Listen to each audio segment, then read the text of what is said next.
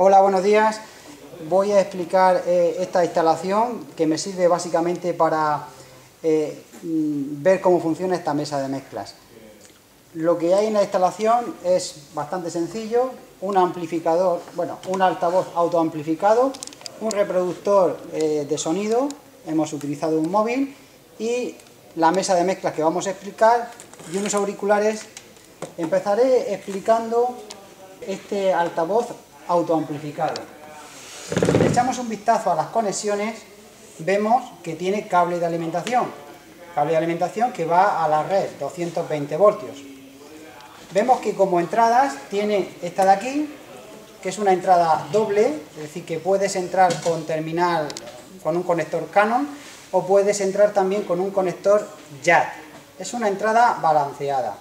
En nuestro caso estamos entrando con eh, un conector Canon. También observamos que es la entrada de línea. También lleva una entrada de micro. Esa entrada de micro sería para poner directamente un micrófono. En nuestro caso, como estamos eh, conectando una mesa de mezclas, eh, lo, lo introducimos por la entrada de línea.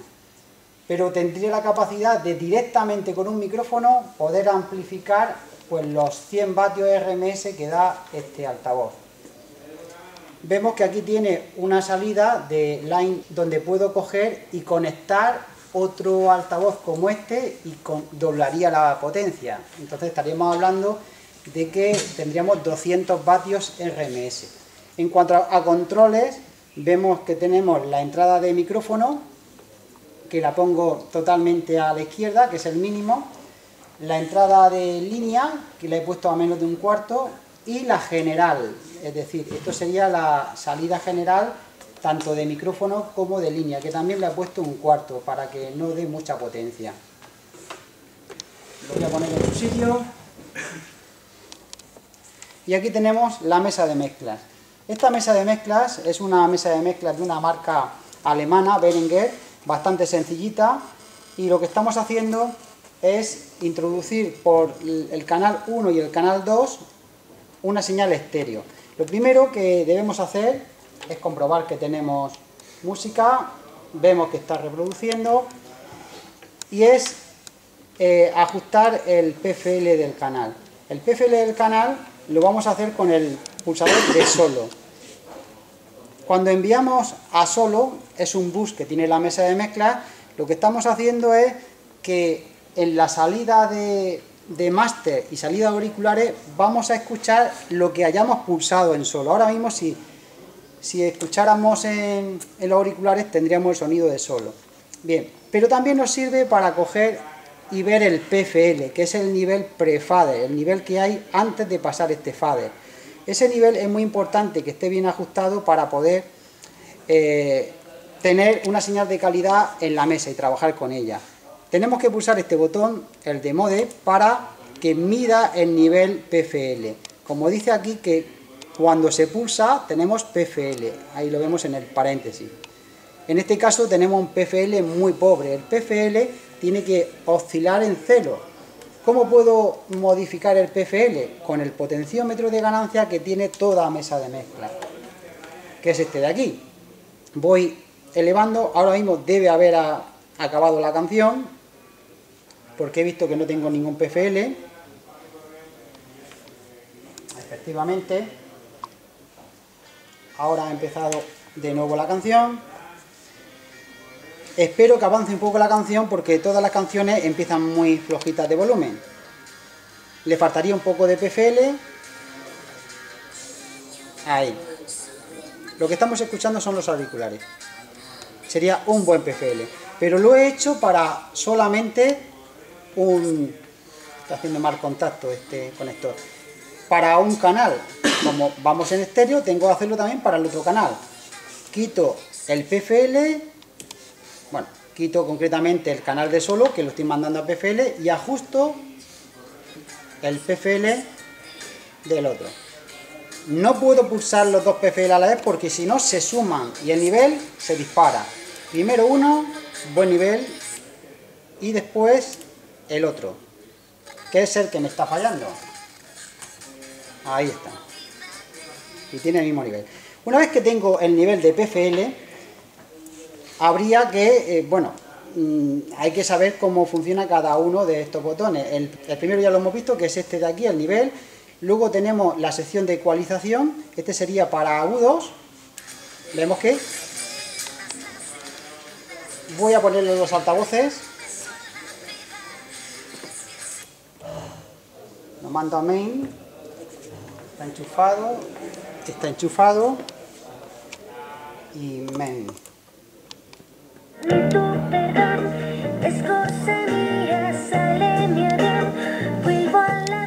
Vemos que en agudos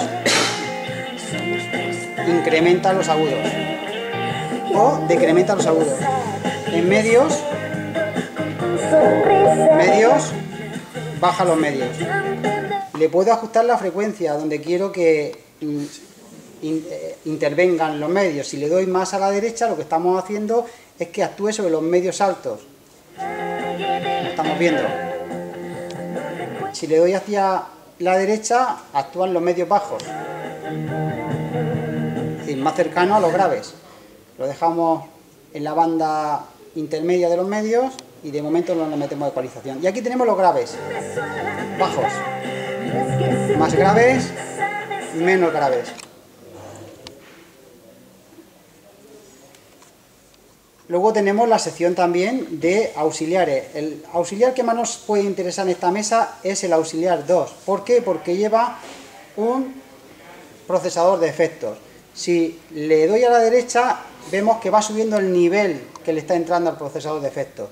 Si pongo un efecto, pues por ejemplo, aquí los tengo marcados, pues el 11, aquí selecciono el número 11 y pulso para que memorice, pues me va a meter el efecto estudio.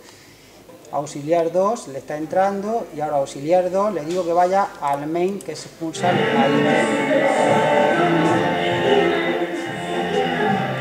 Es decir, que aquí estoy regulando el nivel que le estoy mandando al procesador de efectos. Esto es un control general, porque como tengo muchos cortes, aquí tengo el control individual y luego tengo un control general. Veo que si le doy a la derecha, le mando más sonido al procesador. Y aquí tengo lo que vuelve del procesador. Si le doy a la derecha, pues estoy subiendo el nivel de lo que vuelve del procesador. Y en este botón le estoy diciendo dónde quiero que vaya. Si pulso, lo estoy mandando a los subgrupos, que los tengo aquí. Y si no pulso, lo mando directamente al main, que lo tengo aquí.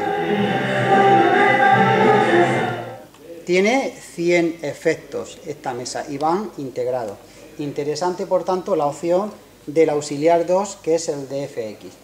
De momento, como no queremos efectos, pues tanto el auxiliar 1 que no, no, lo puedo enviar al procesador de efectos, tendría que enviarlo a un procesador de efectos externo mediante un conector. Lo pongo al mínimo y este también lo pongo al mínimo.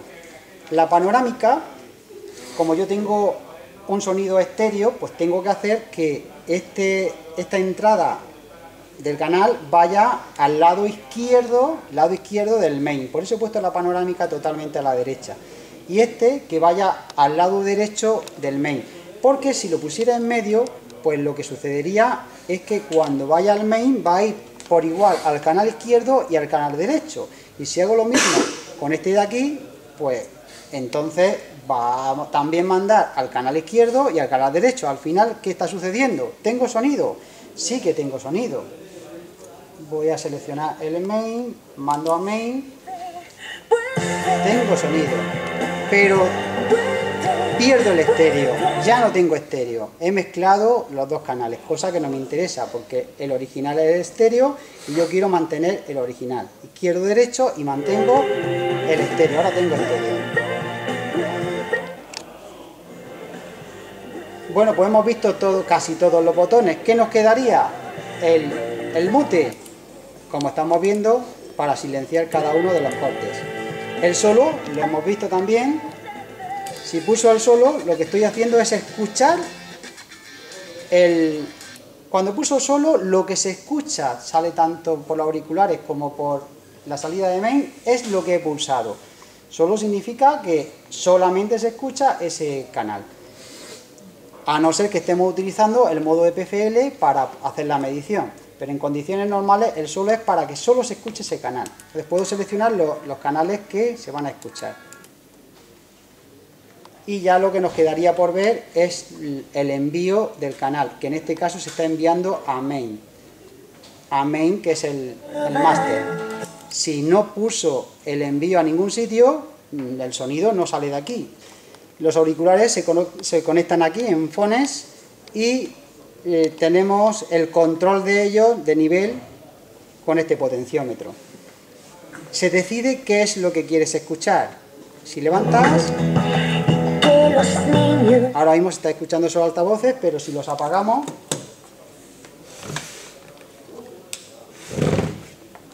apagamos ese también, levantamos, estamos escuchando aquí. ¿Por qué? Porque le hemos dicho que escuche el main miss. El main miss es el master. Si quito el botón, pues no se escucha. Puede escuchar también en los subgrupos. Si pulso ahí, debería escucharse en los subgrupos. No se escucha en los subgrupos porque no hay sonido en los subgrupos. No le hemos dicho que el sonido vaya a los subgrupos. Pero se lo puedo decir. Le digo que no vaya al main y que vaya a los subgrupos.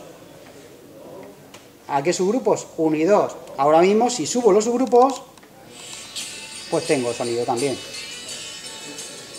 Es importante en los subgrupos que los botones de configuración estos, si quiero que el sonido vaya al main, estén pulsados este que vaya al canal izquierdo, por tanto este pulsado, canal, perdón, canal izquierdo, y este que vaya al canal derecho, es decir, canal derecho que esté pulsado de esa forma. ¿Por qué? porque los subgrupos son una premezcla. Ahora mismo tengo sonido en los subgrupos, pero tengo en el main, voy a poner en los auriculares el main. No tengo sonido en el main. ¿Por qué no tengo sonido en el main? Porque no he hecho que lo que salga de los subgrupos vaya encauzado al main. ¿Y cómo se hace eso? Lo que esté aquí, cuando levante, quiero que vaya aquí. Por lo tanto, le digo que vaya al canal izquierdo. Y lo que esté aquí quiero que vaya al derecho, pues lo pulso. Ahí. Y ahora cuando levante, ya tengo sonido. Y el control lo tengo con el main y también lo tengo con los subgrupos. Porque he hecho una premezcla en los subgrupos. Esto se usa mucho, por ejemplo, cuando tienes una batería o tienes varios micrófonos y quieres ajustar el nivel de cada micrófono desde el, fader correspondiente pero haces que todas esas, entradas de micrófono vayan a un subgrupo y entonces puedes ajustar el nivel de todos esos micrófonos, por ejemplo, el de una batería, lo puedes ajustar el nivel de todo con un solo subgrupo y el nivel individual de cada micrófono con el fader individual de cada corte. Muy bien, pues con esto queda explicada esta mesa que es sencillita, pero como estáis viendo da bastante funcionalidad. Muchas gracias por vuestra atención y hasta el próximo vídeo.